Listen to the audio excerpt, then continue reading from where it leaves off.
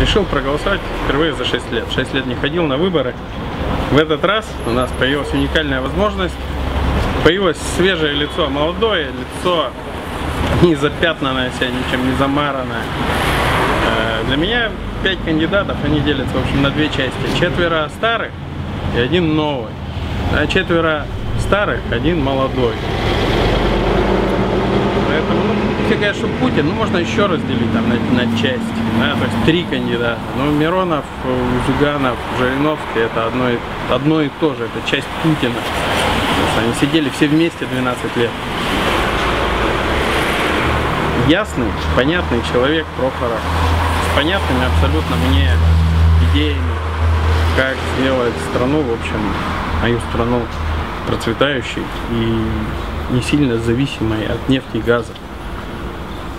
Замечательная сестра у нее, умница просто.